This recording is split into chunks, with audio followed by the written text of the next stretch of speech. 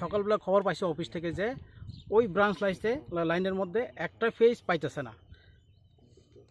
Phase না পাওয়াতে কি করছে তারা? স্টাফ আইসে এখানে, আয়া, এখানে যেহেতু ব্রাঞ্চ লাইনে জিও সিস্টেম আছে কাটার সিস্টেম আছে, ওই জিও কাইটটা তালা দিয়া তারা লাইনে বাইর হয়েছে চেক করতো।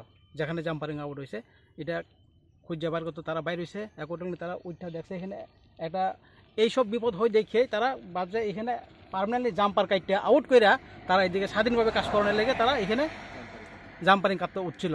ততক্ষণেই কে বা কারা পাবলিক এখানে তালা ভেঙ্গা সেটা আপনারাও দেখছেন এখানে ওইটা ভেঙ্গা জিও দিয়া দেওয়ার পরে ঘটনাটা হয়ে গেছে এখানে।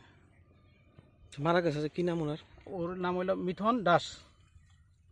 ও বাসে বাড়ি সেকশনের হেল্পার আরেকজন লোক এসে আসছিল তার সঙ্গে আসছিল আরেকজন স্টাফ অরুণ দেববর্মা। তারা দুইজন প্লাস একজন এজেন্সির লোক একজন আছে।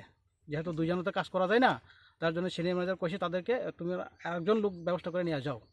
ওইভাবে তারা তিনজনে বাইরে ছিল তো এই ঘটনা নিয়ে কি ডিপার্টমেন্ট কোনো এফআইআর টেফআইআর করছে নাকি? ডিপার্টমেন্ট এফআইআর করা হয়েছে সিনিয়র ম্যানেজার তরফ থেকে। এখন বাকি যেহেতু এক্সপায়ার হয়েছে বাকি ইয়েগুলো আমরা দেখতেছি। বিষয়বস্তুগুলো আমরা দেখতেছি কীভাবে তাড়াতাড়ি তার ফেসিলিটিগুলো দেওয়া যায়।